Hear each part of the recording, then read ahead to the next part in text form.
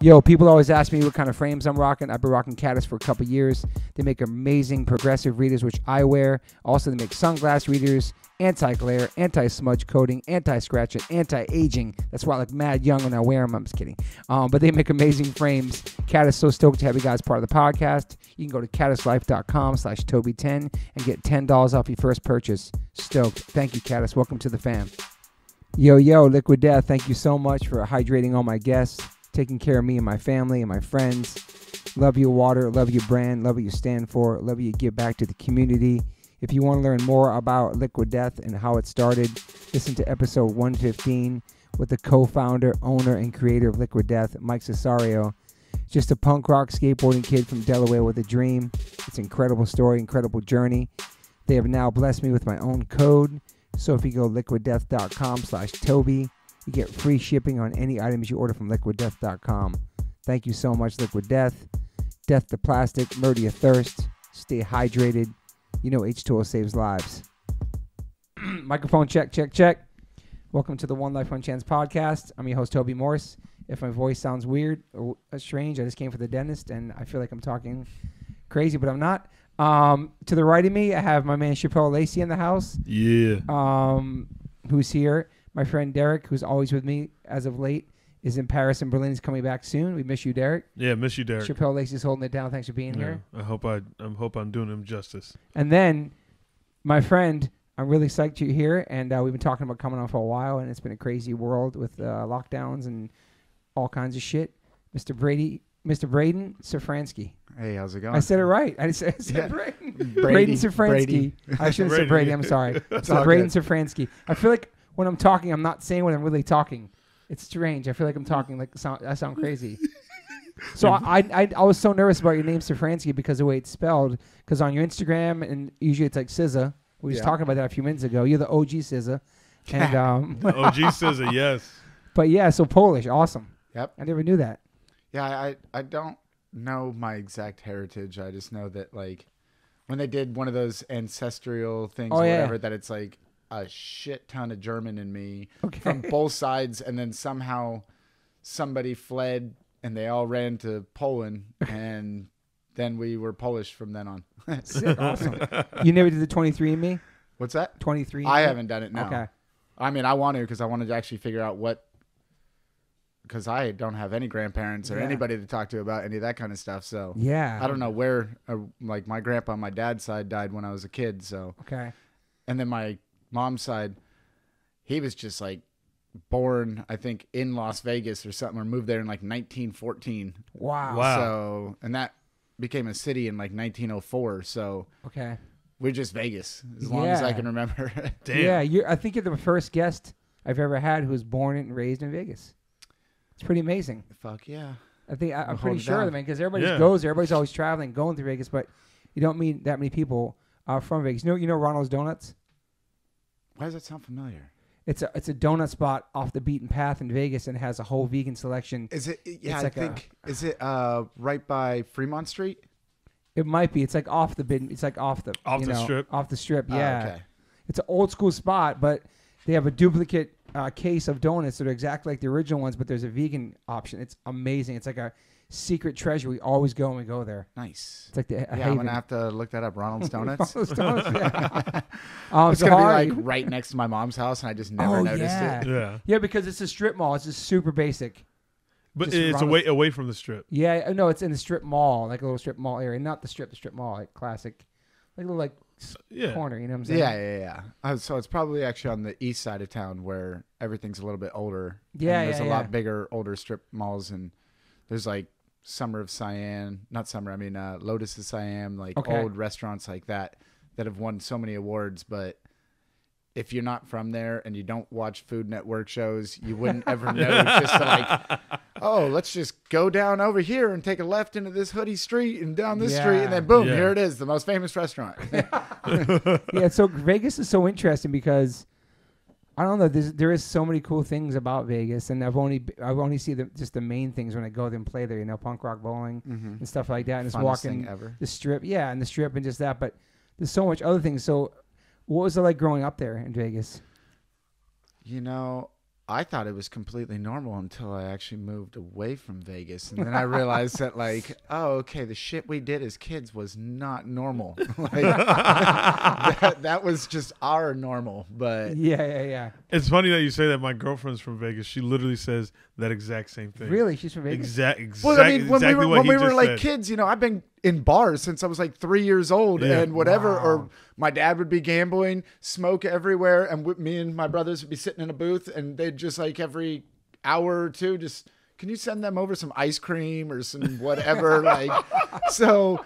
You know the things that we just thought were completely normal, just being in a restaurant, everyone smoking, Yeah. crazy shootouts, crazy whatever, like drugs, hookers on every corner of every, mm-hmm. str you know, and things like that on the strip. And you just, you didn't, I thought that was normal and like Yeah. always doing dumb things to tourists and just running amok. And then you kind of came to California and then you came to other places and you're like, oh, people aren't like that. they, they don't, they don't act like that. They think that we're crazy. Yeah. we weren't doing anything crazy. We were just doing with like the product of what we've seen every day. Yeah, the Yeah. environment. So you have brothers and sisters? Yeah. Well, I have a, a half sister and then two brothers. And so uh were your parents pretty strict growing up? Um, yeah, my mom was crazy strict. Um, I mean, I don't really know. I mean, she just she tried to raise us Mormon because she thought that was the right thing to do. Wow. And me and my little brother knew what that we didn't care.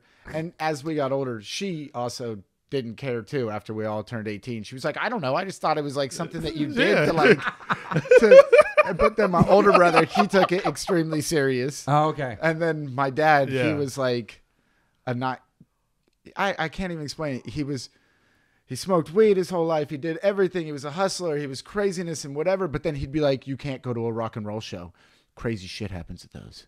Wow. You know what I Really? mean? Like he would be like weirded out, but then at the same time he'd be like in a street fight and then doing some other shit and be like drunk Wow. as hell. And so I don't really know. You know what I mean? Yeah. Like Yeah. who was strict and who wasn't. It was kind of my mom was more shadowing, that's for sure. Okay. And my dad didn't really give a shit what we did.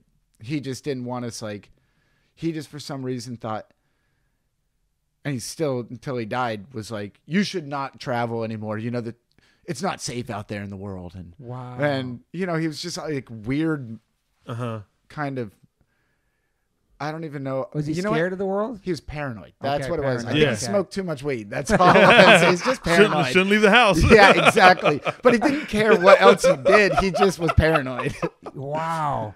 So you guys are out in the street. Were you rebellious against like your mom being like that, trying to make you be I Mormon mean, and stuff? Or yeah, I mean, Yeah. I, I remember when I was uh, a little kid. I went to my bishop and I told him I was gay because I knew that that was the only way to get kicked out of the religion.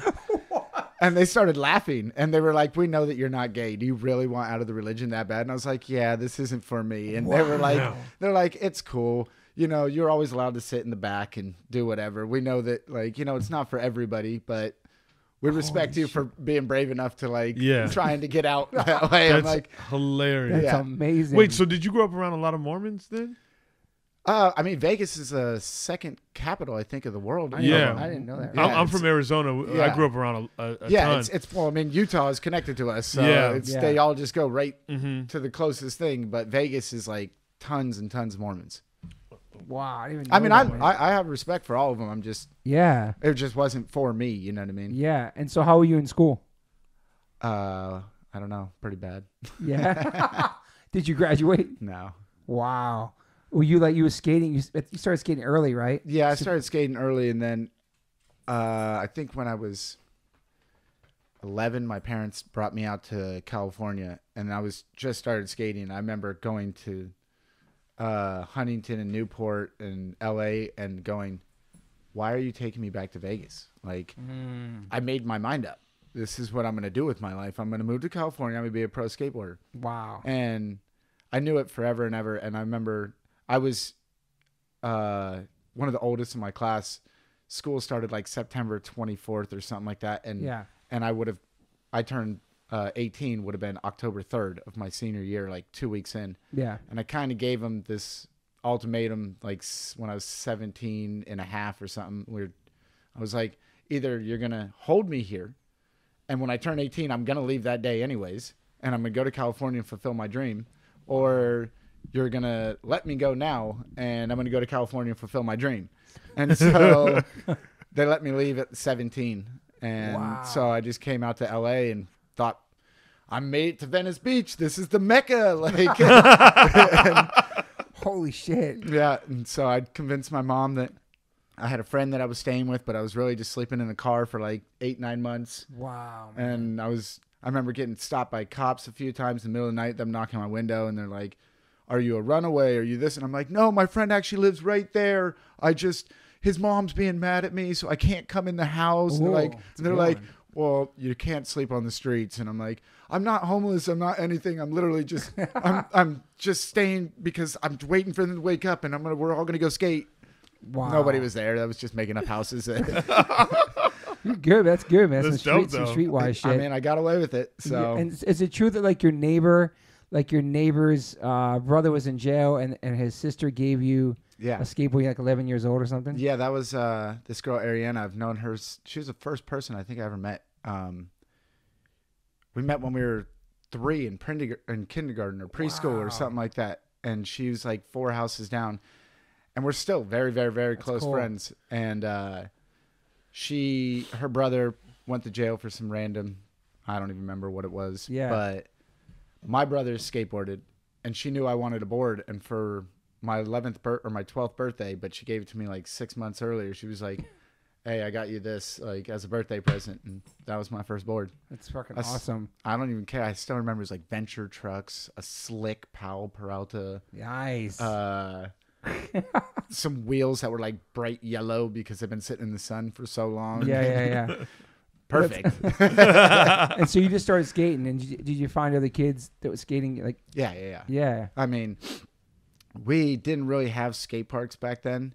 yeah. So I don't know. I think it was just a random little clique of my brother's friends, and then I kind of met through Yeah. people through that, and I got lucky because my older brother was a construction worker, my dad was a carpenter, and built hotels and everything. So That he wood. and he didn't want us leaving the yard. So he built fucking a bunch of ramps and everything, and we didn't have a skate park. So it'd be like Kenny Anderson and all these older pro skaters would come over to our house, and they called it the skate house. wow. So I got That's lucky to like sick.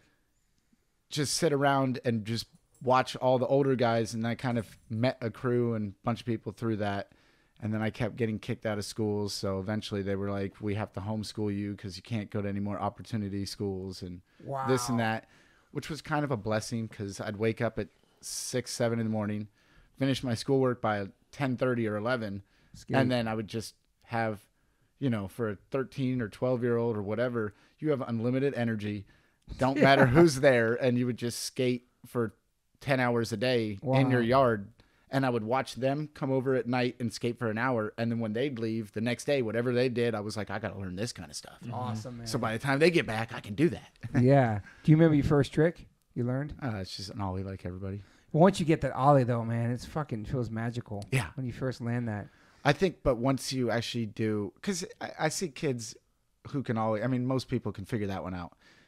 Once you land your first kickflip, you either make up your decision right then. It's your kickflip or your first heel flip. It's Yeah. literally your decision right then of, I'm either doing this for the rest of my life or we're, we're, that hurt way too much and we're done. But Yeah. most people get that like, fuck yeah, that, that rush of, I can't believe I just worked so hard and that board flipped under my feet and now I'm standing on it again. Yeah. Holy shit. So were your parents supportive about you going to Cali? They, they had no choice because you're 18. No, uh, they were supportive because by that point, like Kenny Anderson and all them have like taken me under their wing for so many years, and they were like, "Well, definitely, he's gonna be something big, Wow. and we're gonna make sure that he has all the right connections and right everything." And so they always knew that like it's cool. He's gonna go there anyways. We might as well let him do his dream. so what, what were you doing? You got it? Did you start working? Did you start working jobs when you got here, or you just kind of just like, No, I fucking didn't care if I had a goddamn dollar to my name. I was skating. that was it? like Just crashing people's houses Well, I in the got streets. I got lucky because when I was like 15 or 16, Kenny told me uh, you never have to get uh, worry about boards again.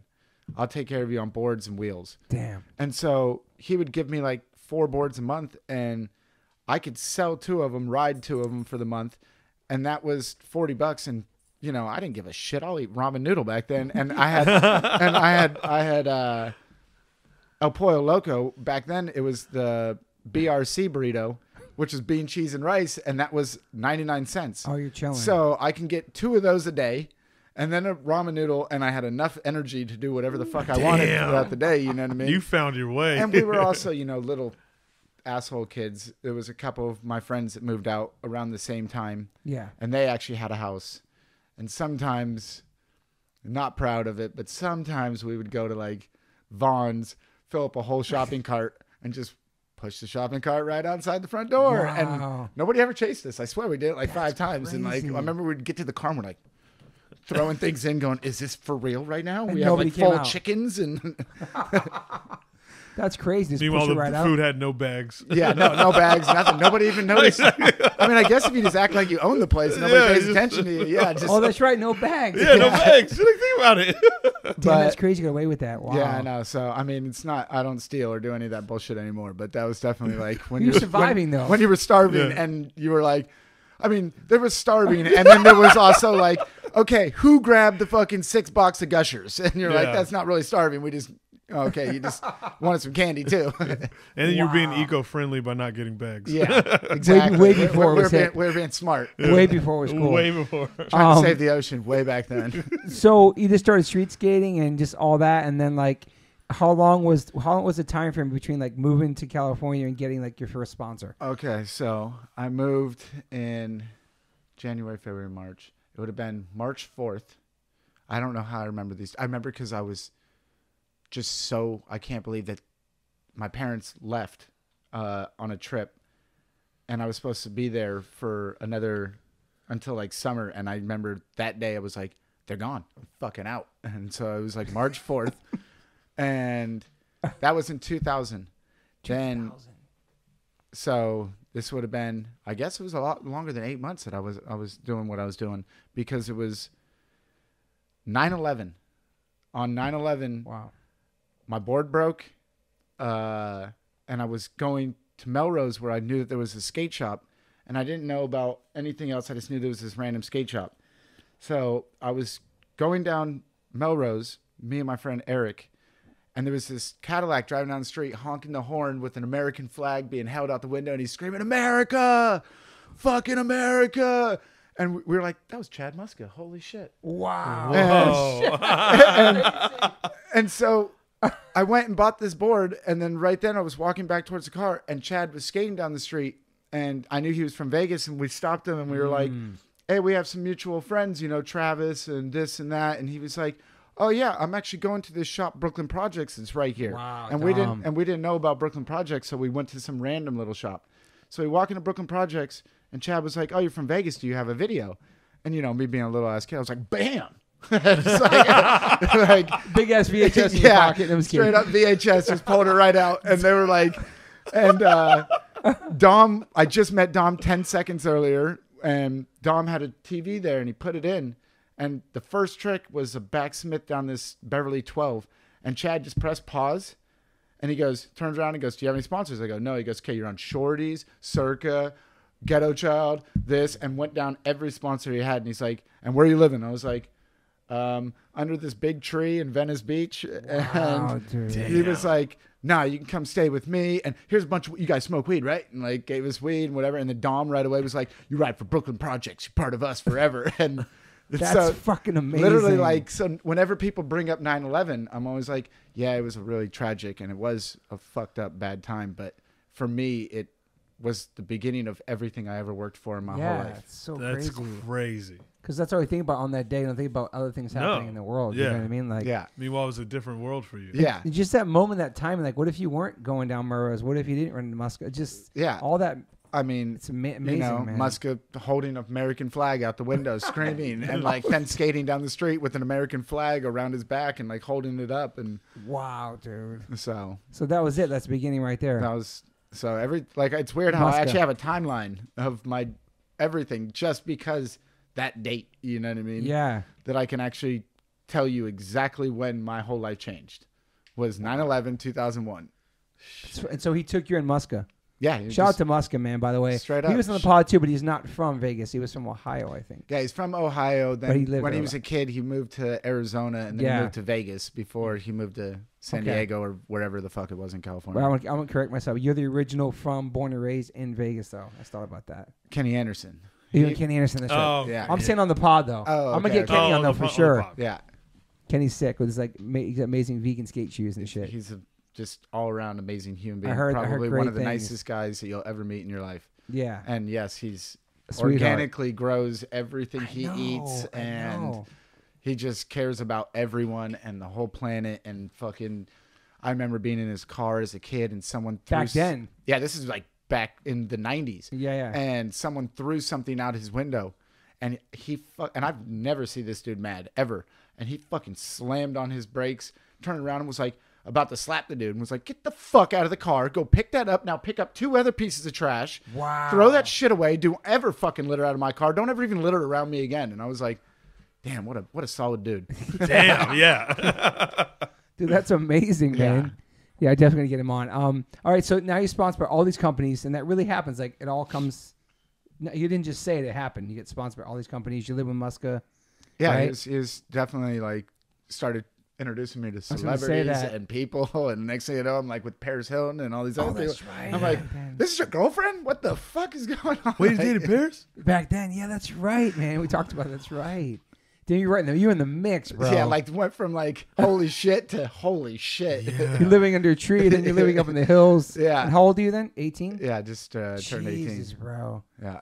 And then what? So then you start entering contests in Cali. No, I did, I just I never really was a contest skater, and then I just started Mm. uh, skating, and one day was right here, right up the street from your house, and uh, I remember we weren't staying at Chad's house for a little bit. He had some, we, he was just letting us stay sporadically, and we had other houses that we'd go to, and I ran into this other kid, and he was like, "I just moved to L.A. You can move into my house, or come over and stay stay a night or two.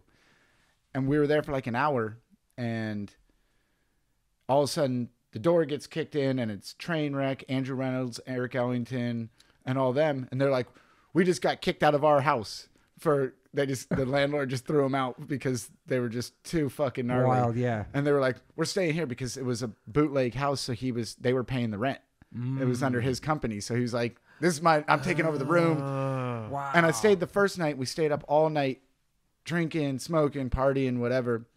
And we went to bed. And, you know, the whole time I'm just a little fan still of everybody. Like, Yeah. oh shit, this is crazy. And the next day we woke up and Andrew just looked at me and he was like, "Where are you sleeping tonight?" And I was like, "I don't know." And he's like, "You don't have to leave."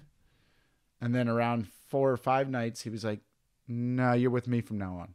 wow. And then that following Christmas or New Year's Eve, like on a couple days after New Year's, he just came up to me and goes, "Do you? Here's the option.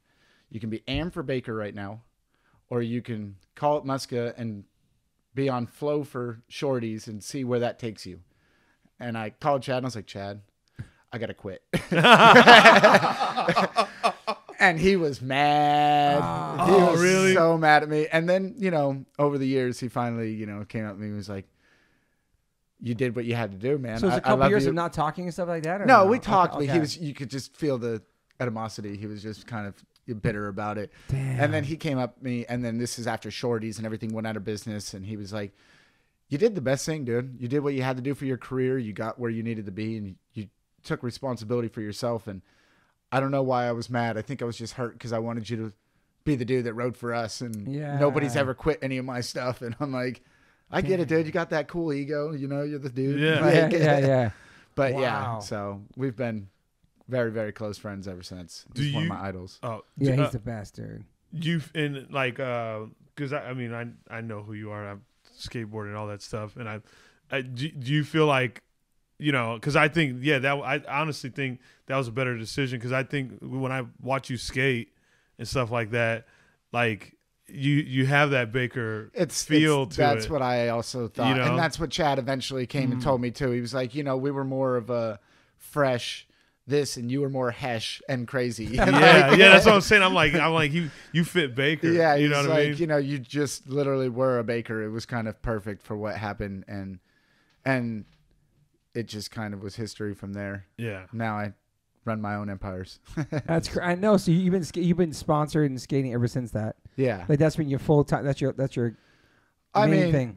I just turned 38 in October. It's my main thing, and it always will be. I'm gonna be a skater forever. You know what I mean? And I'm gonna do whatever. But you can't just like anybody one do. Yeah, you have to do everything. And for me, my mind moves too fast and too hyperactive and crazy that I don't want to just be one thing. I love skating. I'll skate any day, anywhere with anybody. Let's do it. You know what I mean? Yeah. But yes, I fucking love to be in front of cameras. I love acting. I love uh, right after this, I have to go do a tattoo. That's what I've been doing lately. Is I, I love tattooing. I love like painting. I love like, you know, being part of so many different worlds. creative you know, I don't yeah. have to. You get to a certain age where you're like, I want to do everything.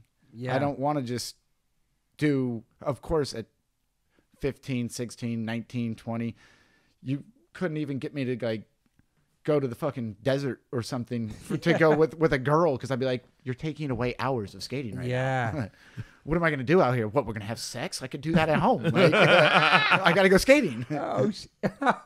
so every so every single day that that was it. Yeah, and like that was your main thing. No no other jobs at that point, right? Just strictly No, just I- skating. until Well, you re- s- yeah, until recently, I didn't ever have a real job. I mean, skateboarding is a real job because I Yeah. broke every bone and killed myself and did everything that I possibly could for it. yeah. But I've never like had to clock in somewhere and Mm. tell somebody like and have a boss sit there and tell me you didn't treat this fucking customer right and da, da, you know Yeah, and of being your course boss. yeah and then after that i went into tattooing and i own a sunglass company and i own uh, ghetto child wheels with some partners and some other things so It's awesome. there is no clocking in you know i can go down to happy hour shades at any time yeah. and I don't have to show up for two months. The it's ran by amazing people and it it's does what it needs to do. And then you know when I show up, everybody's like, "Woo, let's have a barbecue!" Yeah, and, yeah. and let's do fucking. Or I'm in there talking to the accountants and Yeah. whatever else goes with that, you know. So and then tattooing is like just. I have a tattoo after this. I was supposed to do it at five. I called the girl and said, "Hey, I can't do it till seven. She was like, "Sounds good." Thank you. There's man. no like clocking in. No, you know, know, what I know, mean. yeah. If anything, the person that I'm, I work for his tattoo shop's like, you have a key. I don't care what time you tattoo, as long as you put your rent in the fucking box, everything's good. Yeah, yeah, yeah. You're pretty mobile with it too. I see you traveling around tattooing and stuff like that, right? Well, that was just because, with the pandemic stuff. yeah, and we're not Yeah, supposed yeah. to talk about that Yeah, yeah. because. Sorry. Oh, no, no. I mean, every tattoo artist in the world did it. Everybody, I know, but dude. I know. legally you're supposed to be in a shop that's Yeah. and yeah but we were all safe and everybody did everything Yeah. sanitary and Yeah. and this and that and you know made sure that our whole area was perfect and every the whole but Yeah. yeah, technically you're supposed to be in an actual tattoo shop and since the pandemic's ended nobody's i don't see people doing house calls you know what no, i mean no, like no, no. and I've been asked by a lot of different shops actually around the world, which now that we're out of the pandemic, this next summer I want to do. I got asked by a shop in Paris to do it's cool. uh, come Guest out, spots. yeah, guest spot for a week. I got sh- offered in Berlin, Copenhagen, uh, London, this shop in New Mexico, my friend's shop in New York, and So then my cool. other friend's shop in uh, Australia. And I was like, you know what? Tattoo tour. This sounds kind of fun. Like, Yeah. I can go out there. They'll either pay for my flight or I pay for my flight. I can bring my girlfriend or whoever, and you're like, cool. I'll book all my tattoos in three days. Yeah. We'll make it a, a nine day trip. Work for three days doing something I already love to do, Yep. and then afterwards you get a vacation with all of your friends, and then you know, anything, yeah, yeah. skate, do whatever, and then you come home and you made money for being there. It's so You're good. like, oh, you gotta is- do it, man. Yeah, and I'd love just to like I was out in Long Beach the other day and I ran into a kid that at the park that uh he was from Canada. And I remember during the pandemic, he just happened to be in Vegas and I uh, did a tattoo on him. Oh shit. And I ran into him and he like pulled up his sleeve and it was beautiful how it came out like a year later and I was like, wow, that's that's a warm weird feeling to see a kid that lives in Canada Yeah. and he has a piece of your art on him for the rest of his life. You know what I mean? Like yeah. something that you drew. So, did you? What what was your first tattoo? On yourself, like your first tattoo you got, and how old were you? Oh, my first one was this one, Sick. and that was when I was 18, the skateboarder, and that was I wanted tattoos my whole life, and my mom always said that if I did, she would burn it off of me. Damn. And so on my 18th birthday, my dad took me to get this, and he was like, "Well, your mom can't sue me anymore." Woo! and so I ended up getting that one, and I'm thankful for my mom because if it uh-huh. wasn't for her, I'd probably literally have like I know. the misfit skull this big, you know what I mean? Like my whole entire chest and be like and have like dumb friends that have covered everything of just stupid, stupid know, dude. tattoos. Yeah. And then luckily enough for me, I waited that time and I got to grow up with like Woo, Dr. Woo and Sick. Andrew the Kid and and all these great tattoo artists were all my tattoos I'm like cool, I, they're not shit. So Yeah. and and I get to say like I have tattoos like these and a bunch of fun ones from like Woo and all them when they were like apprenticing. Just coming up. you know what I Yeah. mean? And That's things that if awesome. you get this, you tell people that that's from them. They're like, no, it's not. I know his style. And you're like, Yeah, yeah, yeah, but yeah. I've gotten originals. Like, Yeah. So were you were you doing art too as a kid? I mean, I just Drawing always, and shit, I or- would just draw, but I would mainly get like frustrated because you would be sitting in a bus or a van next to like Spanky and all these people who are fucking insane artists, and you'd start drawing something really stupid, and then they would draw something like fucking.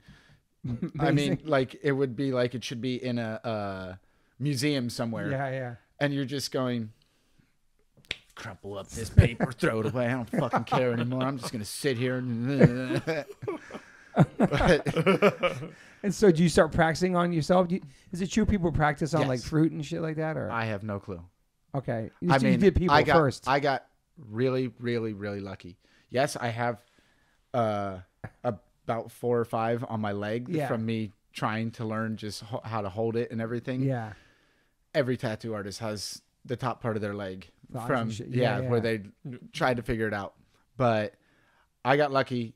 The people I apprenticed to, everybody was like, "You've gotten insanely lucky because you had a fan base. You got to do tattoos because most people, you know, I apprenticed for a year, and I still, I mean, I don't give a shit what people say. I'll apprentice my whole life. It's just like skateboarding. I'm still gonna ask every skateboarder. I've been doing it for 27 years. Hey, how'd you do that? Yeah. You know what I mean? I How- love that, man. Yeah, Yeah. like I. I want to learn every day. Yeah. So I'm always going to ask questions. Um, but I got lucky because I just said, "Hey, I'm tattooing," and a million fans stuck up their hand and were like, "I don't care if it's fucking garbage. I will take it." You know what I mean? Yeah. And then I would do it with uh, the dudes I was apprenticing to, Yeah. standing right next to me, and they'd be like, "No, don't hold the needle like this. Don't do that. Don't like, you know." And this is how deep it needs to go. This is what, Yeah, yeah. and don't break the skin. Rather do it light and go darker than go darker and try to figure out light. You can Yeah. bleed them out and this. And so I kind of got really lucky because the people I've talked to that tattoo, they spent years doing apprenticing and Yeah. then they were getting one person who would allow them to tattoo them a month for like another two or three years Wow. because they were like nobody wanted a tattoo from somebody who doesn't tattoo yet yeah, Yeah. yeah, yeah. i just had and especially during the pandemic Yeah. people had fucking and I wasn't even really charging people, but people were getting them stimulus checks and they were getting unemployment Yeah. and they were like, What do you need? A hundred dollars? Here you go. And I was like, Woo. Like, I get to draw on you for a hundred dollars? Like, this is great. It's ama- how many tattoos have you done? Now I'm probably done like three or four hundred. Wow. Dude. Holy Yeah, and that's only been in a couple years. Like Wow. during the pandemic, I fucking because I the only reason I know this is because I got one of those big buckets for your uh, cartridges and your needles. Okay, yeah. and I filled up a couple of those buckets, and I'm like, I usually use like one, maybe two, if it's a massive tattoo. Yeah, yeah, yeah. You know what I mean? To do a different type of shading or something. And I filled up two of those things, and I was like, there's got to be hundreds of fucking fucking needles in here and cartridges. Damn, I've done a lot more than I thought. Like, wow, man.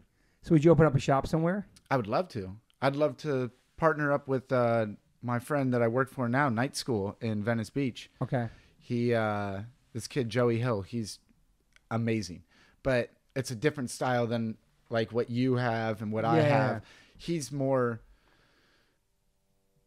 i i don't even it's if you look at his instagram everything it's all day long models. I think I've seen him tattoo. He ta- does like seven to ten tattoos a day, Okay. which is insane.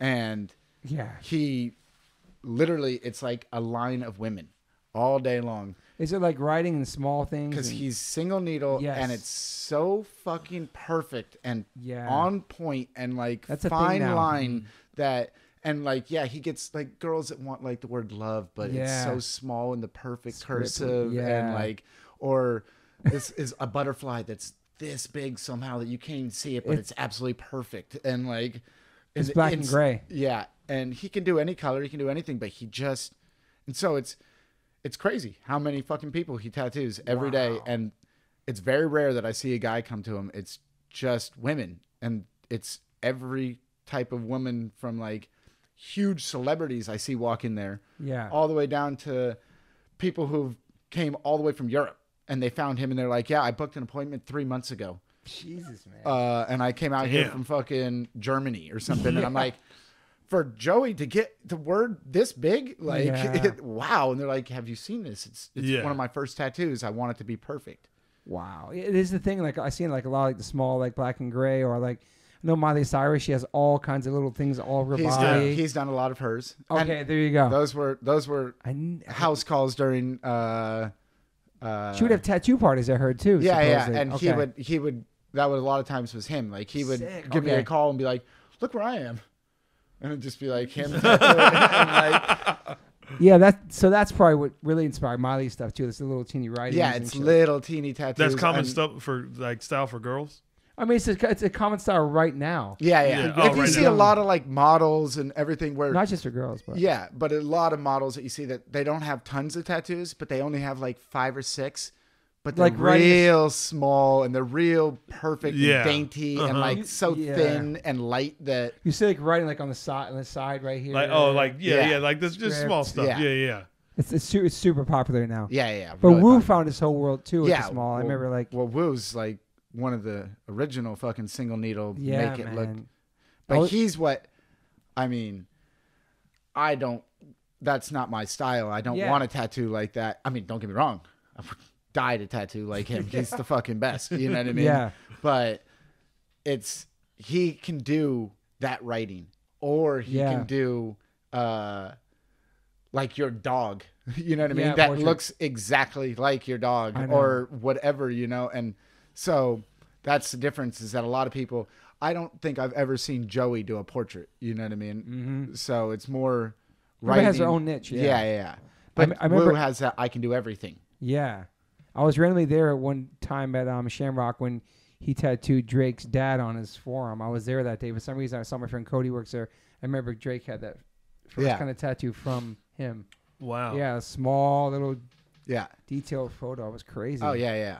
I mean, I think it's kind of It kind was of kind of like the, like a, just a black and gray. yeah on his Yeah. phone. Yeah, yeah, yeah. Yeah, but his, I mean, and Woo has two million followers for, Yeah. for tattooing and like things like that. Like, but he's definitely, you know, the average person can't get an appointment. You can't. You know what I mean? I'm his friend, and if I called him up and said, "Hey, can I get a tattoo?" He'd be like, "Yes, I'll schedule him for next January, but like 2023." And you're like, Damn. "Damn, dude! Like, Yeah. you have, you're literally so out booked that Yeah. it's crazy." Do you, do you love it just as much as skating? Because in skating you're creating as well, and this is Yeah. another way to create. And I honestly do. I, Yeah. I, I actually, when I really started getting into it, I thought that, wait a minute, this is just like skating for me. mm-hmm. It's scary. You know what I mean? It's Yeah. It's something that I'm not. I'm not scared anymore. But yes, there was times where the first, you know, before I did the tattoo, I had say, hold on one second, and I'd go outside and walk around a block smoking cigarettes, going, Wow. okay, you could do this. You could do this. You know what I mean? Like it was nerve wracking. Like this is on them forever. Yeah. Like forever. you know what I mean? And you don't know this person. So Yeah. uh yeah, it was it was nerve wracking, you know, and then it kind of got a little easier and easier and then you just start to trust your machine, you start to trust your ability of what you can and can't do. Yeah. I personally know if you came at me and said, "Hey, can you do a Mike Tyson photo?" I'd be like, "No, go to somebody else." You know what I mean? I Yeah. don't do portraits. Like Yeah. Yeah. What do you like to do? What's your style? Like what kind of stuff? do you like? that's the one thing that is kind of the niche that I why I haven't like gotten to where I want to be in it yet or whatever is that I don't I haven't found my style yet. Okay. At this moment, I like to do people's customs tattoos Okay. because I want them to tell me what they want. Then let mm-hmm. me draw it up for you and then Yeah. let me do it. Because, you know, there's a lot of people like Woo and everybody else that they have their circles or things that, you know, that that's what they're known for. So then Yeah. they can add that into whatever they wanted to. For me, because I'm still I'm constantly wanting to like evolve and learn and whatever, I just would rather people say, "Hey, I have this idea. I want a snake wrapped around a fucking switchblade or something like that." I'm like, "Okay, cool. Let me draw that up." You know what I mean? Yeah. can- Yeah. And that I I don't know. It's it's definitely that was my goal of 2022 mm-hmm. was to try to find more of what do I enjoy drawing the most. You Yeah. know what I mean? Like things that I want to draw, they make me happy, and then they're more your little characters, like how you see Mark Gonzalez has that character, Yeah. how you see Ed Templeton has his mm-hmm. little characters, and Yeah. whatever. It's like everybody has their that's their style. Yeah. And I'm sure if Ed Templeton decided he wanted to do tattoos, he'd have lines out the door Yeah, of people oh, just going, "I just want that fucking gremlin." you Yeah, know for what I his mean? Like- artwork. Oh or my neck God. face, it's the same thing. They have their own Yeah. style, you know. Uh-huh. I remember, I remember Lars from Rancid was doing tats back in the day. He, I got a Rancid. He was just doing Rancid punks. I got one from back in the day, and then he started doing it. Then he started like going to England and getting flown out to places to tattoo just Rancid tattoos. And Yeah. it was so cool. Of course, Such why a not? cool thing. Yeah, and that's and I have a friend who is from Australia that moved I don't know, 3 years ago to America. Then moved to New York, started tattooing, but had her own style and within 8 months had her own tattoo shop.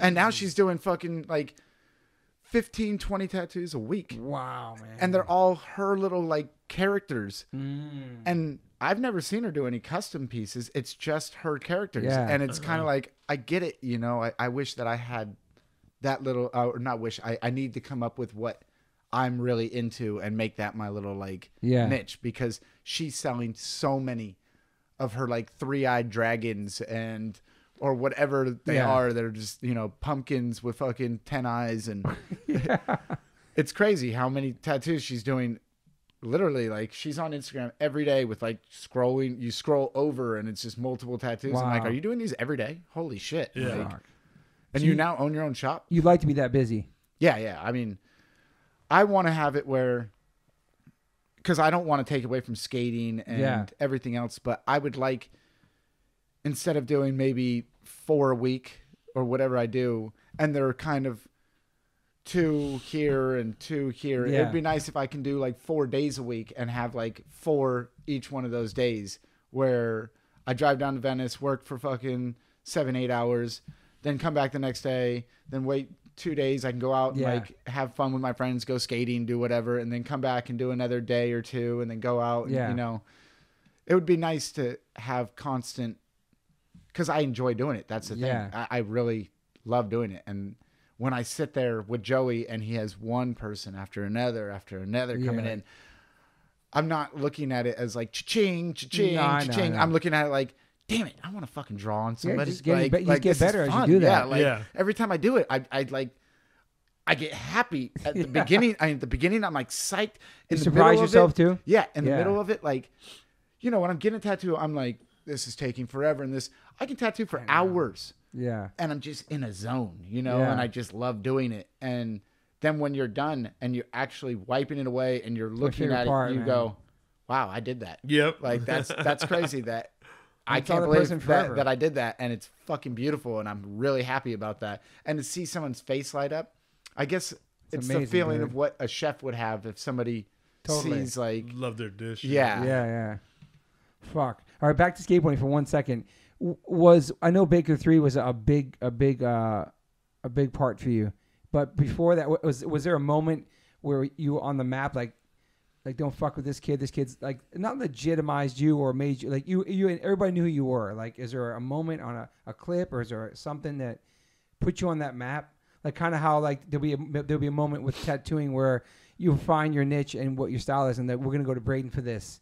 Like, were you known for something in skateboarding that put you in that world or not? I think, I mean, personally, I really don't know. I mean, I because I've in my skating, I've tried to treat it as any artist would. Yeah. I don't want to just be known as one thing. You know, I wanted my first video part was this is skateboarding, and it was pretty much all handrails. Okay. and I went as big as I possibly could. Then the next part was I I don't know. There's been a lot of them in my life, and then the next part there was like, and I remember in Baker three, I remember having like doing more manuals, Yeah. yeah, yeah. and then at the same time was one of the first Hesh dudes Mm-hmm. to kind of because everybody expected you to have fucking the biggest baggiest Yeah. pants on, a triple XL shirt, and that's what you did was you were like a Brandon Biebel and all these people Yeah. that were like you were fresh, and that's how you skated like that. And I think when I had long hair, ripped up t-shirts, Pirate fucking style, tight, man. tight pants, and I'm doing fucking I love manuals it. that Yeah. most manual skaters were like, and you were skating the Aussie. you know what I mean? Yeah. And Yeah. like- and and Yeah. Daewon hit me up and said, I can't believe that was fucking amazing. You know, when that happened, I think that's when I was like, wow, okay. Yeah. But between a couple of the manuals, I think the ones at UCLA that I did in Baker 3, and then the end of the part when I did the Caballero flip and then the shifty flip, that's kind of what I think everybody knew me as was Okay. he did two of the heaviest manuals back then yeah. Mm-hmm. and then you did two of the fucking heaviest stair tricks back then. Yeah. Yeah, now every kid can do everything, but Yeah. you know, for that Yeah. era, it was like, I'm, I don't know, I wasn't No, even. I, I remember I, Yeah. like uh, I watched Baker Three religiously. They like it was like the biggest thing in the world to me when I saw. I think I was like I was probably like seventeen or eighteen when it when it came out. But like the one thing I've always loved about Baker, and I, I guess to kind of help answer your question is that like Baker has this like raw style to it. Like everybody's like raw, but everybody has their own different style Yeah. of raw. well, that's you know what, what I mean? Like every everybody stands out. Like the Like no no one's the same. Everyone's like got their individual like style, but you know it's a raw style and it fits the Baker world. And Yeah. Gotcha. like you know that I mean that, that Baker three hit massive. I mean, You I know I still mean? think it's the, from what I recall, it was the number one highest looked up skate video Oh, and, wow. and highest telling you, sold like, video was- in skate history. It's fucking Yeah, awesome. it was it was it was crazy. I remember it hit so big. Yeah, it's still, I mean, I haven't, what was that? Fucking 2006? Yeah, or this something two- like yeah, that? yeah, 2006. And yeah, I still every day on Instagram, like kids tag me in my part really? every day. I'm like, wow, they still watch this part in this That's video. amazing. Like, it's it's a religiously. good the video like still to this day. I think that video I mean, I holds still, its it holds its weight. I can so still well. watch Antwuan and fucking Oh my Herman's God, part yeah. all day long and be like, you guys still, All if I day drop long. those video parts right now, Yes, would be Yeah. the best two video parts out there again Mhm. right now. I, and I I loved Ellington's part too. yeah, me too. Oh my god, you know But- he, he closes with that Carlsbad. I think he does Yeah. switch three sixty. Nah, big spin. Big spin. Big Yeah. spin. Yeah, yeah, yeah. yeah. Plus, your whole style and crew, was, it had like a Dogtown vibe. Like, I remember first meeting you guys at Brooklyn Projects, and my son was, his favorite movie is Pirates of the Caribbean. Hmm. and you guys just to roll up your whole crew and just like scraggly and fucking, like you said, like ripped up and shit. Eric on Max was Moto, like, yeah. holy shit, like pirates can skate. Like, Max was tripping. Because Max was so He was so young back so young, then, but yeah. seeing you guys just shred, like, just, you had such like a Dogtown vibe, man. It was such a cool ride, the whole crew. I mean, I forgot that one guy's name you rolled with too. He's a he's a, a well known skater as well. Fuck, I forgot his name. Is, Uh, it, is it on Baker? I don't know who the guy was. He had, he had total pirate vibe too. The headbands and I forgot his name. I mean, there was Uh, always me and Eric Moto were always Mm-hmm. together. Um, He like a bird kind of nose. I don't know the fuck his Figgy?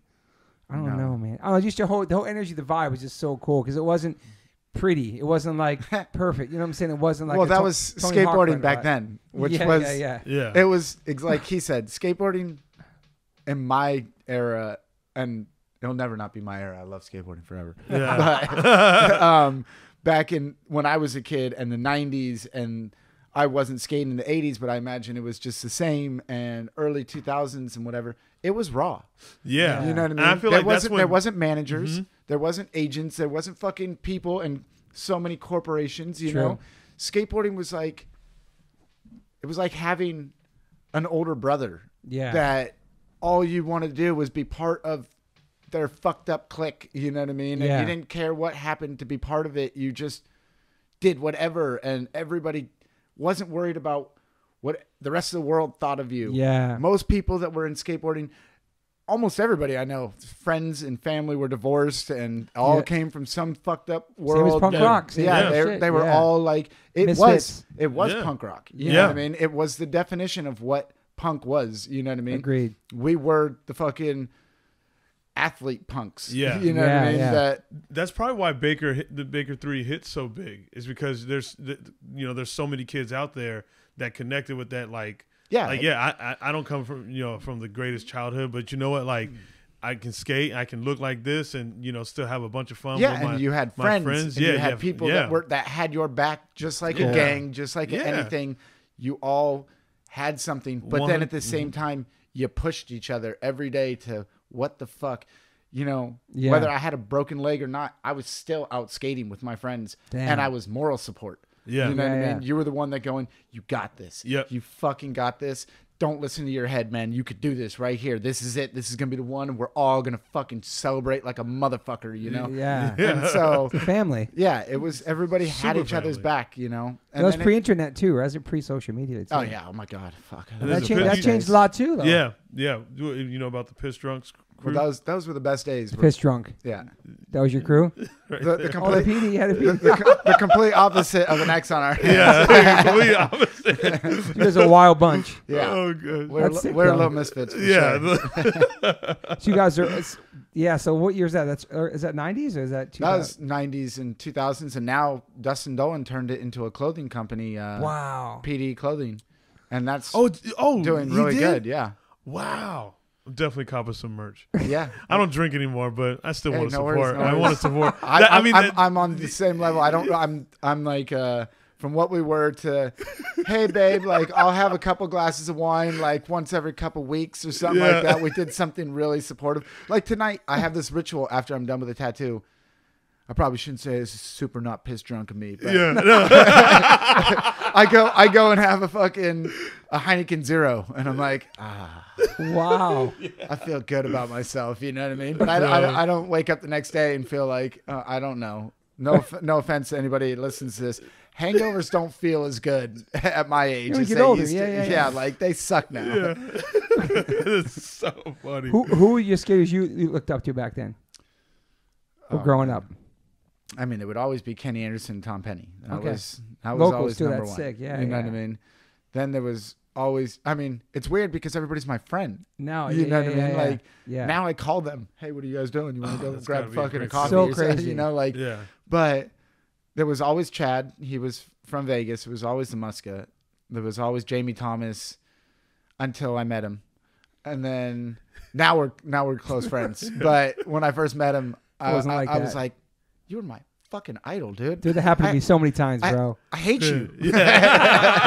That's the worst when you meet somebody, man. Oh, it happened to me so many times in my life. I wish I had met certain people. And then there's some I met, I'm like, holy shit, you're actually opposite what I thought you're going to be. Yes. Yeah, yeah, yeah. You know what I mean? That's amazing. Marilyn Manson. Okay. he was the opposite of what I thought he was going to be. Mm. I was expecting him to be like super smart guy, dickhead, fucking whatever. Sweetest guy I've ever met. Like Wow. real mod tone voice. Hey, pleasure to meet you. Like, Wow. Oh, you know, hugging everybody, Yeah. telling fucking people how cool and whatever they are. I'm like, How many years is- ago was that?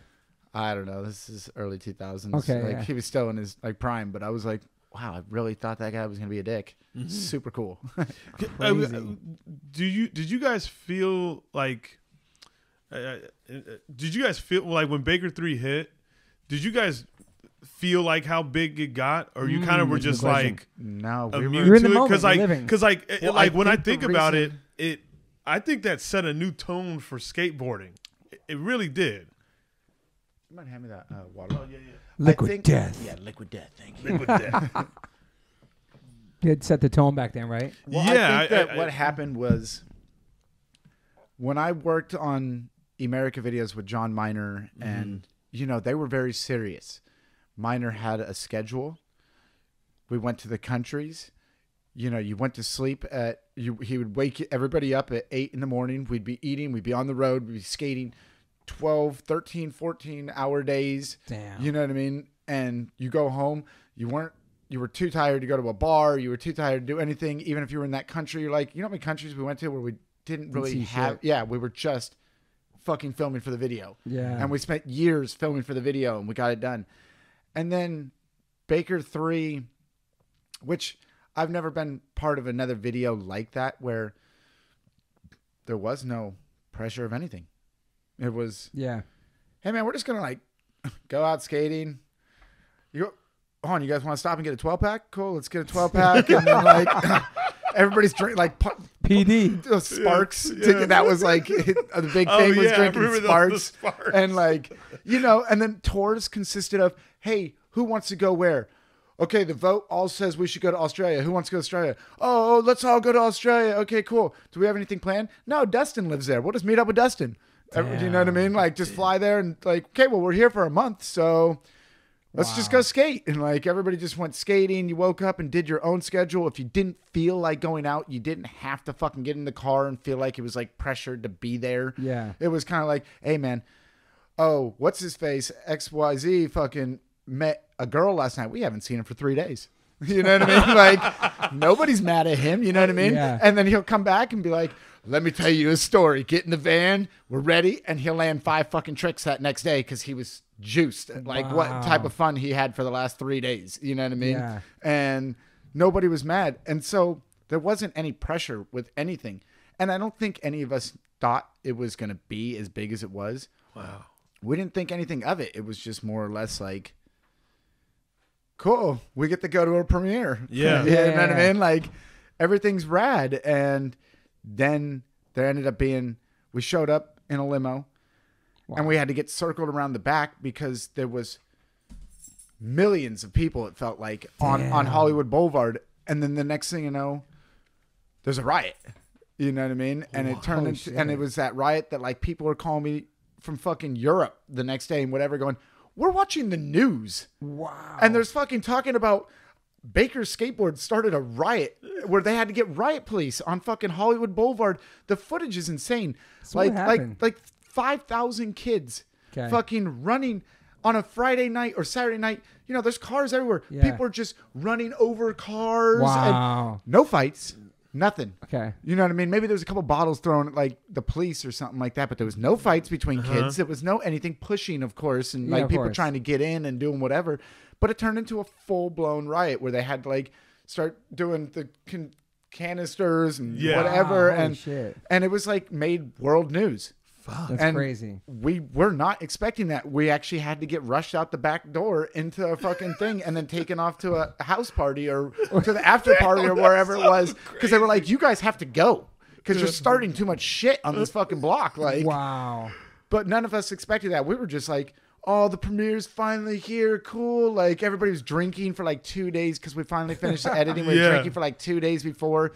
Everybody's friends and family were in from different countries and different Yeah. places, you know, because we had teammates from all That's over the world. chills. Crazy. So yeah, we were just like it was a giant party, and then we pulled up and we are like, I never had my stomach drop so hard because I've never seen so many people chanting your name. You know what I mean? wow, like, man. and it was just waves and waves and waves, and it was pre social media and Yeah. pre things where it was. It was Real an, life it was love. it was an era. Real you know what love. I mean?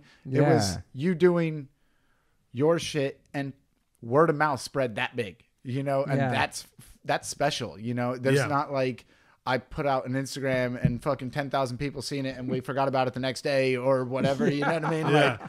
You Wow. you gotta watch the video if you haven't seen it yet. Baker three. No, I did see it before Oh, back watched- then. oh, but yeah, okay, but- but, I, I I like to watch but it. But I think Yeah, yeah, I think the feel of with it was was Yeah. we actually showed for the first time, maybe I don't I think maybe ever, real life skateboarding, and that's why I think it did so well was Mm. because old videos before that showed skateboarding. Yes, there was videos with the Gonz and Guy Mariano and all them driving a car off a cliff and you know old Yeah. H Street videos and Animal things like Chin. Animal Chin, yeah, like and these and videos like that where there was like some like Jason Lee being an actor and Yeah. people doing things like that. Yeah. This was like we showed you what we see every day in the streets. Mm-hmm. You know what I mean? We see that crackhead fucking getting in a fight and breaking bottles over each other. We see that person trying to stab somebody.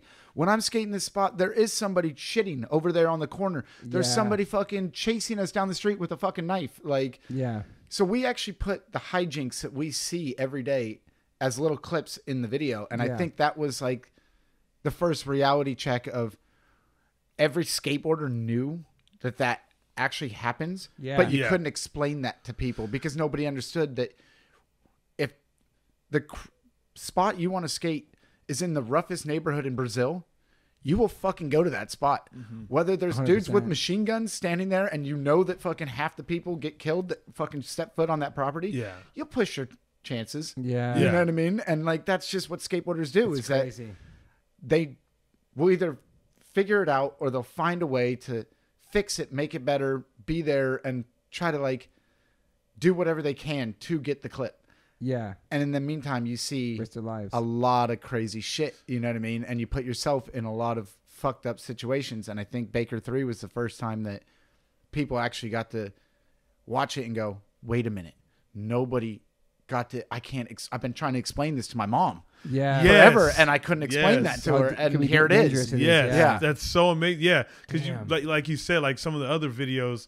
Yeah, people like not every skateboarder is like driving, you know, a car off of something or Yeah. anything like that, Being or like you know, or or being yeah. goofy. But that that's like the like every skater deals with something of that nature. Yeah. You Yeah. know what I mean? We got the, we got to show the original Karens. Yeah, Oh, oh shit, you did. one hundred percent. Did you feel pressure after that to film skate park skate clips after that, Baker? Um, Or ever no, feel pressure to do like a perfect video? Uh, no. I mean, I've always had fun with my parts. Yeah. Um, I think right after that, yeah, we went straight into Stay Gold, Yeah. which would have been once again right with Jon Miner, and we were.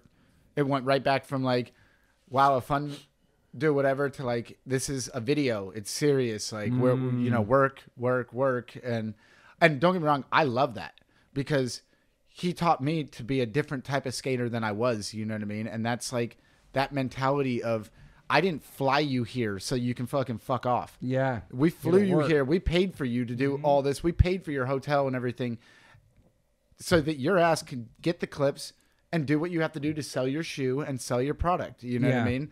And it's it taught me a whole different like street, not street, uh, business sense. Was working with Miner and and the Emerica Squad and all those other people. And I really appreciate both sides of it, you know. And then I think right after that we did like Baker has a death, which was once again another fucking have fun video that you can do whatever, but we didn't take it nearly as serious as when you're working on an Emerica video. Like you can see the difference if you watch Andrew Reynolds Baker three part, and then you watch Andrew Reynolds Stay Gold part. Okay. He knew that that was going to be his like, this part is going to define me.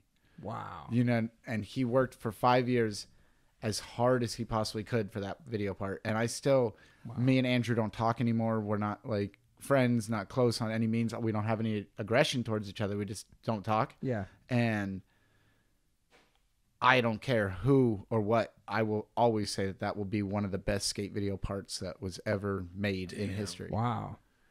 And I also got lucky enough to watch it be Yeah. made. You know what I mean? Yeah. Be mm-hmm. there. Well, he flew himself all the way to fucking sat down and said, "Hey, I need to go to Paris.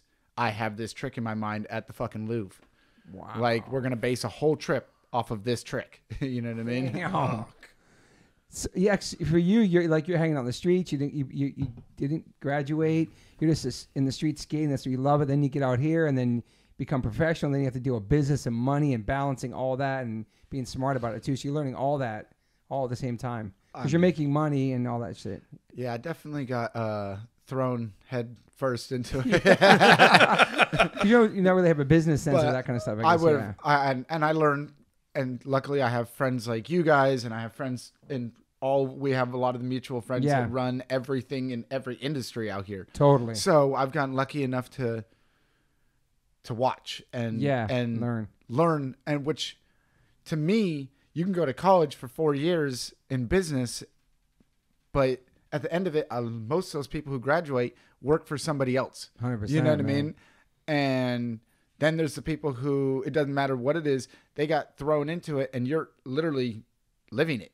Like, yeah, mm-hmm. it's true. I mean, I do wish because of where I'm at, it would be rad to have those four years of education of college for business. None of this would have been possible if, or my world wouldn't even been in this world if I did do that. Yeah. But it would be rad to like have somebody. So that's why you know I hire people. Also, besides myself, it's always nice to have people you really trust Yeah. to help you with your companies and run them and do things like that. So Yeah. It's interesting to say because I usually, well, one of my questions is, do you have any regrets? And sometimes I think to myself, maybe I, if I went to college, maybe I would have learned some more things I could be using in my life right now. You know what I mean? yeah, Not that I, but if I didn't, if I did go to college, I would never move to New York by myself when I was 18. Got dropped out of CBGBs, started working in the music industry, then behind the scenes and starting a band. So, you know what I mean? But like, well, it's you chose your life. You know what Yeah. I mean? And you regrets. Come on now, life's too short for regrets. I, yeah, I, I can see that in you. That you, that's what you are. if I could, I would do the whole thing over again, Damn, and I would do it the exact same way. I love it that. doesn't matter like how many things I've failed and lost and how many, you know, ups and downs I've had. It was fun. Mm. Yeah, It was damn fun. And like yeah, I don't care if I died dead poor. Like I enjoyed every moment. I, I do really live by the it's better to have a rich full life of things that you enjoy and love to do and enjoy over a long or a rich short life of things you love and Yeah. whatever over a long life of working for somebody and doing whatever and things that you hate you know what i mean I fucking love that, man. I agree totally. I, I think that my life has been blessed in so many ways. I mean, I've worked my ass off for it, but yeah, the ups and downs are part of life. That's Yeah. what builds character. It's fun. yeah. You never want to quit skateboarding ever? Fuck no. Fuck no. Okay. Skateboarding is gonna be me for my whole life. Yeah. You know what I mean? Like yeah. I'm a I'm a skate and skate and skate and I don't care if I'm like 70 years old. I'm still gonna be like, watch this. I can I, I can I can do a fakey flip. I know I can. Are there tricks you can't do from back then now? Or you can do everything you pretty much learned your whole life? No, I mean, it just depends how if if I start skating every day for a mm-hmm. couple months, I can generally get back my all my flat ground, all my Okay. everything. But I have tricks that come in and out. For some reason, I can't do a switch heel flip to save my fucking life anymore. but I've been able to do them my whole life. But they've been like that. They're, they're like Yeah. Mm-hmm. sometimes I would do them, then I couldn't do them for two years, and then all of a sudden they come back. And like right now, the last like six months, every time I try, I go, "What the fuck?" I swear. You put your foot right here. You put your other foot right here. You push. Why won't it work? Yeah, yeah, yeah. So we're going to do Hollywood 16 right now. Yeah, exactly. so do you, I mean I skate with you mini ramps. You shred ramps like you skated vert too, obviously before. No. No. There was no vert ramps in Vegas. Damn. Oh, and then Cause you skate when I skate mini ramps with you, you skate like you could skate like a fucking thirteen foot half pipe. no, no, no, no. I, I everything everything changes after everything changes after six feet. Okay, And it was all due to there was a ramp once when I was a kid. gotcha. My it was some neighbor had a uh, 11 foot ramp or 10 foot, and I stood up there for like 15 minutes trying to talk myself into dropping in, and I had my uh, right foot on my tail, Yep. and I didn't realize that my left shoelace was untied, and I was standing on it on my right foot. Oh fuck. And finally, after like 10 minutes, I go, okay, I'm ready. And I went like this, like to drop in, and my foot didn't move. So I just fell all the way to the flat and like knocked wind out of me, like Brutal. bruised my ribs, everything. And I never really cared about big tranny. I was like, nah, this After is that? cool. Yeah. Wow. Uh, Vert and all that kind of freaked me out a little bit. I mean, I'll skate it. I'll do some 50 50s, but I'm like, yeah, yeah. I'm very cautious. yeah. Okay. Are, are there tricks you're still trying to learn now? Are you trying to still push yourself and learn more things? Yeah, always. And- always. yeah, I have a few tricks in my head that I've had in my head my whole life that I'm like, you can't really be done until that's Mm, that. like a bucket list. Yeah, I mean, I have a couple tricks, and my life goal in skateboarding is to have cover of Thrasher one day, wow. and I've never had it, and so I'll You've been keep- in there though. Yeah, yeah, yeah, a ton Okay. of times, uh, but and I just had an interview in the last Thrasher that just came out. Oh, that's awesome, man. and I just had a video part that dropped You said that last before. month. Yeah, in cool. Thrasher, but I will continue to fight. and I'll continue. I don't care. That's maybe maybe. I I mean, hopefully they'll be like this 40 year old man fucking he, he nailed it. You know what I mean? But it's it's pretty hard with these fucking kids nowadays. Oh shit. yeah, it's great. It's, it's almost like for us in music, like, or you- you've been a comedian, like there's some young, Yeah. up and coming, amazing comedians. There's some amazing new punk bands. There's amazing new skaters.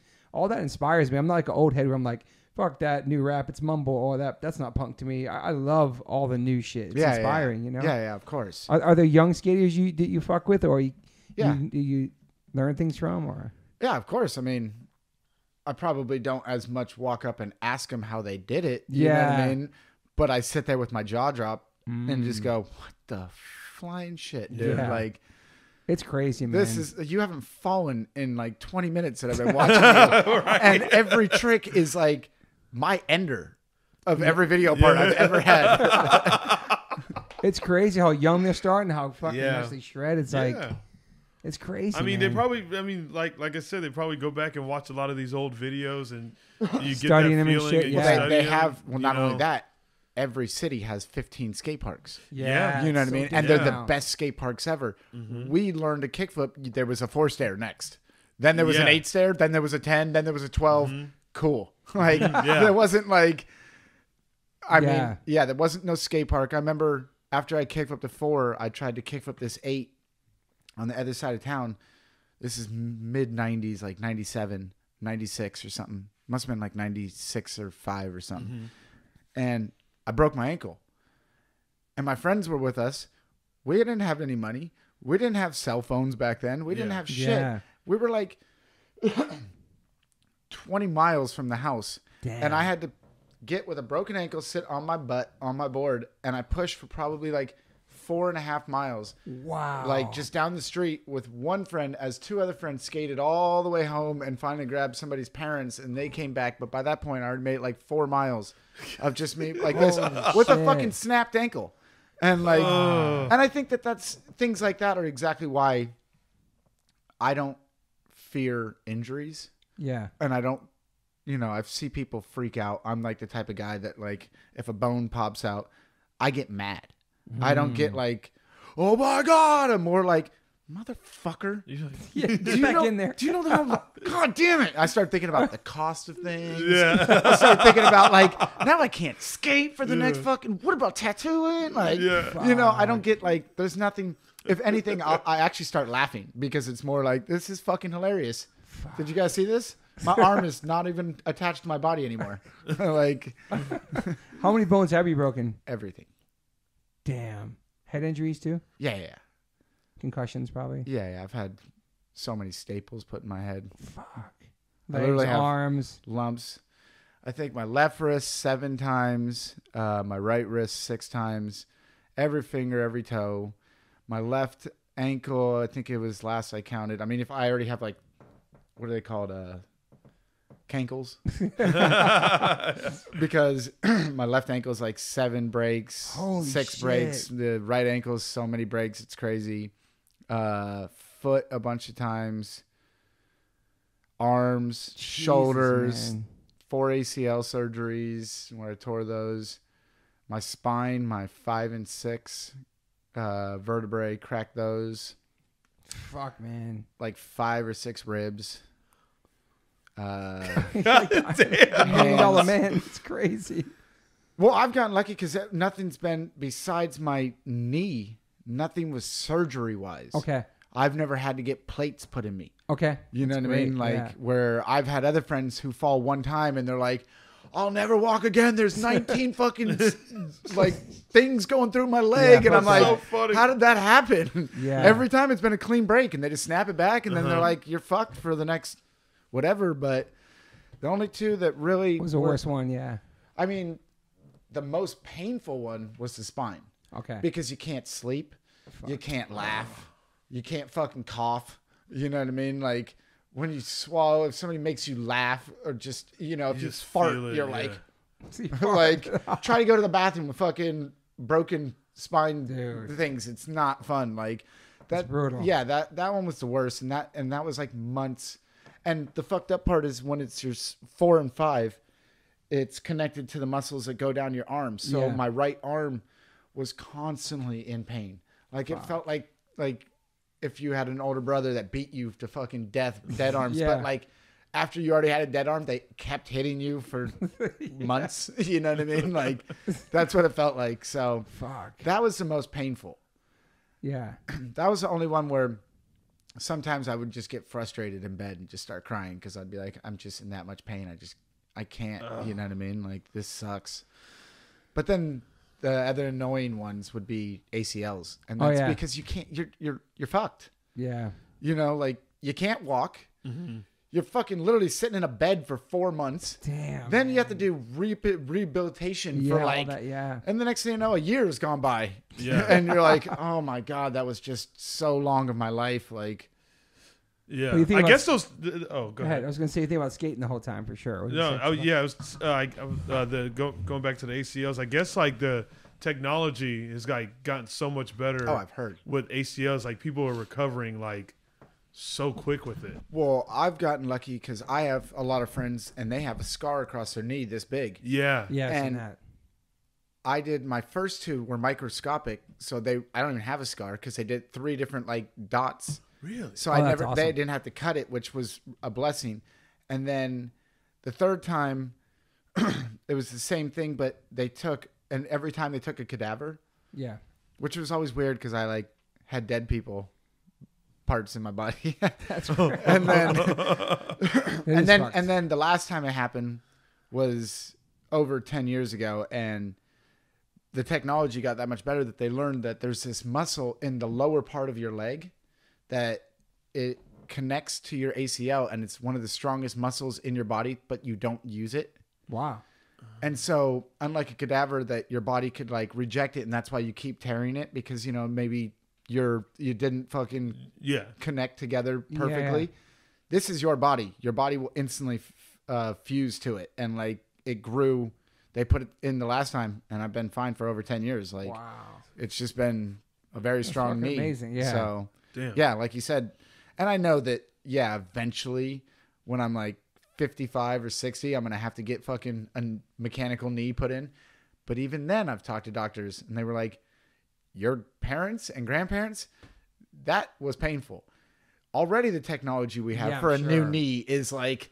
You're like a True, fucking, yeah, you're like Iron yeah. Man or something Yeah. like that. And they go, so by the time you're 60, they're like, come on, you're gonna go to sleep and you're gonna wake up and be like, dun dun dun. dun.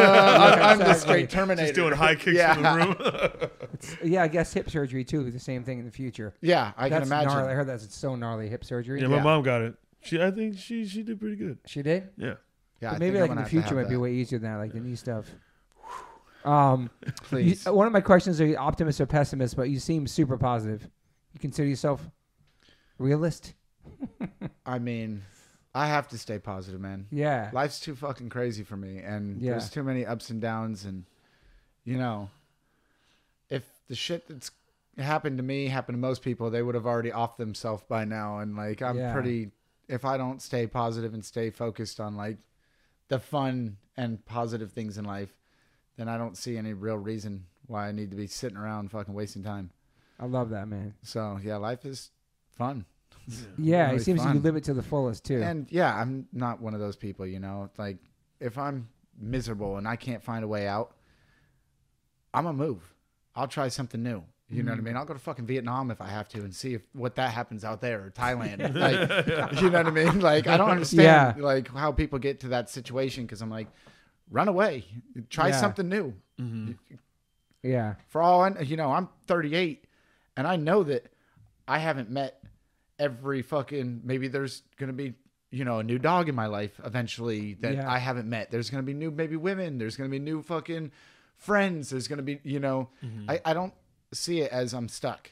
Where Yeah. there's always somewhere to go and something to do. And that's physically and mentally because some people get stuck mentally places too, you know. Yeah. But you seem to like you talk about. I think I heard. Oh, we talked about it here, if I can remember. I looked. I watched one of your interviews or something. Just always want to go leave Vegas and see the world, you know, Yeah. and get out of there. And you pretty much done that, Yeah. except for Thailand, Thailand, Russia, and uh, Poland. Poland. Yeah, we talked about earlier. Yeah. Those are the three places I've never been. And if you hit those, you'd be pretty good. Well, yeah. I mean, I'm fucking bummed at myself for one of them because my dream Oh. destination is Thailand. Okay. And uh, you almost had a chance to go. Well, no, I was in Vietnam Oh shit. and we were there for 10 days or two weeks.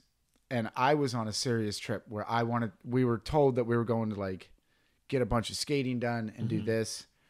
And we were going straight from there and we had 10 days in Thailand. And at the end of the trip, everybody looks over and I'm walking the opposite. Well, they're all walking to Thailand. It's a 30 minute flight Yeah. and they're walking this way and I'm walking this way and they're like, "Where are you guys? Where are you going?" And I was like, "Peace out," and fucking just bought myself a ticket and fucking flew home. Oh. And everybody was like, "Why'd you do that?" And I go, "Because you guys, we came on this trip, and I've touched my board, and this is I was really serious about skating. Like I really wanted to go skating in these places, and the crew were like, "We're all going out there to skate." And I remember this was like I really wasn't drinking at all at the time, and I didn't have one drink or anything in that like couple weeks. that Might we have were on there. edge a little bit too. Yeah, we got there. Everybody just got fucking loaded the entire time. And we skated one time, one fucking afternoon in 10 days. And the whole time I just sat there in like, you know, you have no internet, you have no TV, you have nothing that. Oh, like- yeah, you- so you were just like sitting there and everybody's just getting wasted and like blacking out and blacking out and just doing it from morning till night. And I was just sitting there and finally, and I was like, I'm not doing it. I can't do 10 days in the dream destination I want to go to.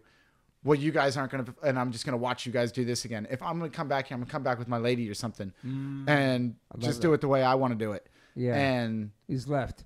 I left, and then of course, a year later, fucking the pandemic kicks in, and I'm like, if we can't ever travel again, and I, and, and I blew my fucking chance. No, Like, you'd be fine. That's crazy. This balance. You're like so over it. Like you're Yeah, I- sober and you want to skate. Yeah, and so I just they literally were walking, and everybody just went this way, and I started, and then they all just stopped, and I just remember just going, "Peace." I bought myself a ticket home. I'm out, and just fucking shit. got on a plane and left. Wow. And was that shooting for a video, a, s- a certain video that came out? No, that was uh one of my friends hit me up. Okay. He was like, "Hey, we're all going to Thailand. I'm going to Vietnam and then Thailand for a skate trip. We'd love if you came." And I was like, "Fuck, I always wanted to see those countries. Like, Yeah. yeah, of course I'll go." And we got there and like I flew in in a different flight. And when I landed, they were already all wasted. And I was Oh, like, yeah. "Oh, that's fine. You know, everybody's Yeah, gonna be wasted the first day." Jet and then it just never ended. Damn. And so I just ended up like doing a lot of things by myself. I remember I have like a tattoo that I got in Vietnam, Oh, and that was because everybody's wasted, and I just was like, I'm going to explore then. Mm-hmm. Fuck this, and That's like cool. wandered off and found a tattoo shop, went and like sightseed by myself, and would do that in every city that we went to because everybody else was content just sitting there at a bar. Yeah. Mm. Damn, you get tattooed over there. That's crazy. I know. I, I thought when I walked in the tattoo shop that they were going to give me one of those like I had that Oh, the Japan. ding, the ding. him yeah folks that, that You little- got one of in those? Japan. I was yeah. expecting The that, stick, and I was yeah. like, dude, this is gonna be fucking epic. This, yeah, no, comes out, comes out, and I'm expecting. I got a uh, scorpion on my knee, and I'm thinking it's gonna there be. you did. Yeah, I was thinking it's gonna be shit. Fuck. It's like one of the fucking best tattoos I I've wanna ever see it gotten. after. I'm Holy like, shit. who the fuck was this guy? Like, Yeah. was your knee all swollen flying home and shit? no, it was Wow. fine. Like the dude was so light-handed, and Damn. I, That's amazing. You know, we spoke nothing. He spoke no English. I just showed him a picture of a fucking scorpion. Was like, I want this right here. And That's hard to do that like in some other country, man. Yeah. Props for that, man. and he signed. I signed the waiver. I can tell that it was a clean shop and everything, and was not expecting him to be that fucking talented. Damn, that's wow, amazing. that's fucking sick. Yeah, I got hand poked at some crazy old school tattoo shop in Japan, like in the '90s, on my leg. I'll show here. You don't feel nothing, dude. Really? I thought that would be the most painful was thing painful. It's ever. nothing. It just, it's just the sound is fucked up because it's like just going into your skin. It's just really fast. Oh. Yeah, it's it's like what's worse is getting lasered shit off. That fucking hurts.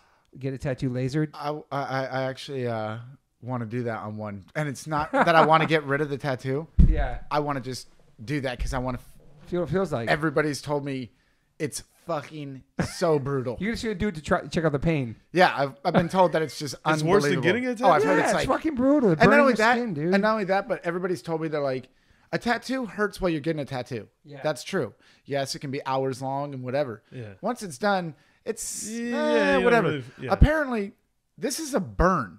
So when it burns, it bubbles up, and for like ten days, it's still it feels like an actual burn. Like Yeah. it's in pain for days. And it bubbles up too, like Yeah. it bubbles up on your arm. You can't pop it. It's like an open wound. yeah, It's fucking. it's like being on fire. Yeah, I rather I rather just cover the shit up. I love going over stuff now. If I can't, if I have to laser it, I'll do it. But I see Travis Barker keeps doing that now. yo, it looks so cool. His I know hand- it's just like the black skull in his Yeah. hand because he has such light gray work that this shit's just popping on his. Yeah. I see it popping now. yeah. I It's- seen that big one he just got right here, and Yeah. it's just like so bright compared to the things under it. I love that shit. I love when you can do that later on in life. And you It's have no almost room. like graffiti, like having the Tagging background piece. shit. Yeah, it's like having Yeah. the background piece. Yeah, his shit looks, dude. His hand looks so sick. Just the popping. I If you didn't have see ta- it. yeah, if you, yeah, in his hand, he put a skull on there. Then he It's on got his some, IG. yeah, then he got some. Uh, d- then he got uh, DTA somewhere in his leg. Oh, He's okay. doing his I legs saw more the. now, I, saw- I too. saw Yeah. that. The, It's the so DTA. addicting, bro, isn't it? Oh God, trust me. I, I, just can't stop, bro. yeah, I, don't- can don't- tell you can't. But I don't know what I'm gonna do. Besides like- your face, do you have anything that's not tattooed? I- yeah, my taint and my fucking Johnson and my face. But I'm slowly doing my head. Got so all you my got your, sides, your ass cheeks, everything. everything, bro, everything. So you're never gonna touch your face. Hi, mama. I'll never do my face. Um, I might end up. I might end up doing. I was gonna surprise my wife and do like. Uh, I just I got can't even talk in the so podcast. much to read. Like, I know. I was gonna put like a half moon surprise my wife on my Where? Johnson on my Johnson surprise her, but I don't know. the thing no. is, is that you got what?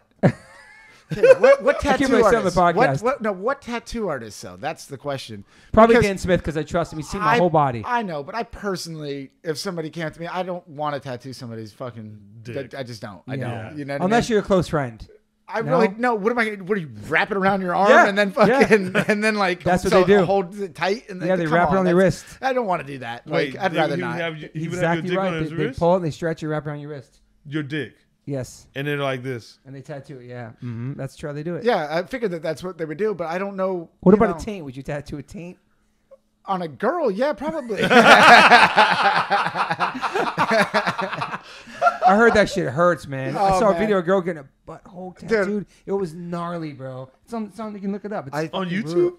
Yeah, I it's had brutal. a girl in Reno once when we were on tour, and we were in a bar, and somebody said, "Yeah, she has her asshole tattooed," and we were like, "No, you don't." And of course, she was drunk, and she just pull, bends over, pull, pulls her cheeks apart, and she has "Love Stinks" tattooed around her asshole, and we're like, "Wow, good for That's you, but wild, one. yeah, Wild. That's probably so painful. Man. yeah." Has to be. It's crazy because if I see myself, when if I look at my body, I'll see some teeny spots down there. I feel like I'm, I'm, I'm like I gotta feel those.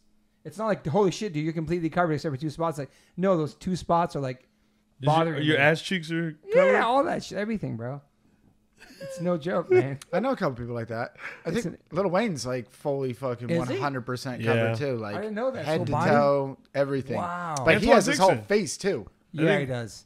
Yeah, gotta think Antwuan Dixon too. Yeah, He's I like don't know all- if Antwuan has his ass though, or maybe he. do- You never know. 'Cause Who's that? Dude, Who's that that? dude would Who's go that? in there and get like fucking twelve tattoos at uh, once. skater. Oh, okay, he's Yeah. fully tattooed too. Yeah, yeah, he's, yeah. he's fully, like, covered. yeah. fully, yeah. Nyjah too. Yeah, Not his no. face, but like full body mostly. yeah, and he has he has that's a big meme. Is his ass cheeks? Oh, really? tattooed, Okay. yeah. He, Who- he Who did, tattoos him? I don't know. He did some naked photo, and you know how like that shit spread like wildfire. People are like, Wow. people are like fucking making memes of him like floating in space, just his ass cheeks. And- Do you ever? I think somebody there's an actual. It's called like Nyjah Huston's ass cheeks or some Instagram or Oh, some Nyjah's shit. butt cheeks or something like that. Wow. Do you have any daily rituals besides skating? no, Like wake up, I do mean- something every day, the same yoga or coffee or uh, I get in routines and then I blow them. okay. You know what I mean? Like I I'm do that the- too, I'll, I'll get in like a routine where like for app. like yeah, yeah for like three months. Yeah. I'll wake up and I'll go to the gym and I'll I'll do like uh, two, 300 push-ups and 600 sit-ups and all this, and then I'll take a holiday will come up or something like that, and all it takes is two or three days of not doing it, and the next thing I know, I'm like, shit, it's been like six months now since I've done any that.